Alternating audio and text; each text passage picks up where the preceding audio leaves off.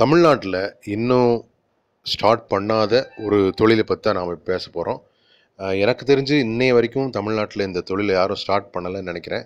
ஒருவேளை இது ஒரு ஸ்டார்டிங் ஸ்டேஜில் இருக்கலாம். ஆனால் கண்டிப்பாக மார்க்கெட்டுக்கு இந்த ப்ராடக்ட் வரல.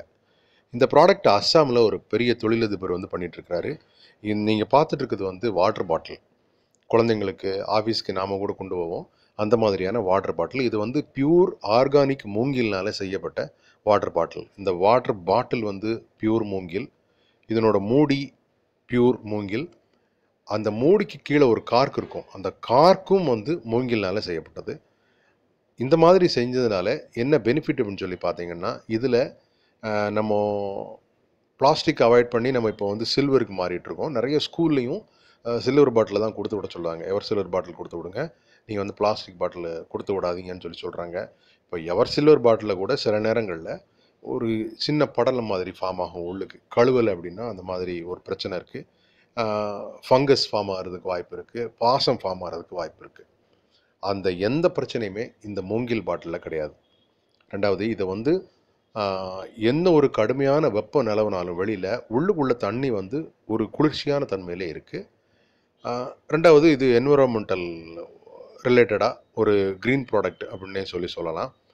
இது வந்து அமேசானில் நானூறுலேருந்து அறநூறுரூவா வரைக்கும் கிடைக்குது. வேறு சில சோசியல் மீடியாலையும் இது விற்கிறதாவது கேள்வி. அதாவது முக்கால் லிட்டர்லேருந்து ஒரு லிட்டர் வரைக்கும் அவங்க வச்சுருக்காங்க. அதுக்கு வேரியஸ் ப்ரைஸ் வச்சுருக்காங்க. Four hundred to six hundred per bottle வந்து கிடைக்குது.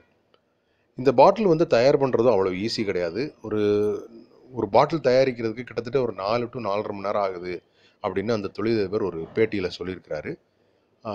இதை வந்து அங்கே அஸ்ஸாமில் காண்டாக்ட் உள்ளவங்க இல்லை அஸ்ஸாமில் இருக்கக்கூடிய தமிழர்கள் அங்கே நார்த் இந்தியாவில் காண்டாக்ட் உள்ள தமிழர்கள் யாராச்சும் இதை ஒரு இனிஷியேட் எடுத்து இதை தமிழ்நாட்டில் நம்ம தயார் பண்ணி லோக்கலில் குறைஞ்ச விலையில் விற்கிறதுக்கு வாய்ப்பு இருக்குது இதை மட்டும் சேல்ஸுக்கு வந்தது அப்படின்னா ஒரு இரநூறுவா முந்நூறுரூவாய்க்கு நீங்கள் ஒரு டிபார்ட்மெண்ட் ஸ்டோரில் இது ரீட்டெயிலுக்கு கிடச்சிதுன்னா எல்லோரும் வாங்குவாங்க.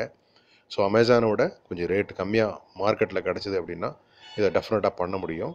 இந்த வாய்ப்பு உள்ளவங்க தயவு செஞ்சு இதை பயன்படுத்திக்கோங்க. இதுக்கு ஏன் பார்வைக்கு ஒரு லாங் டேர்மில் ஒரு நல்ல ப்ராஃபிட் இருக்குது.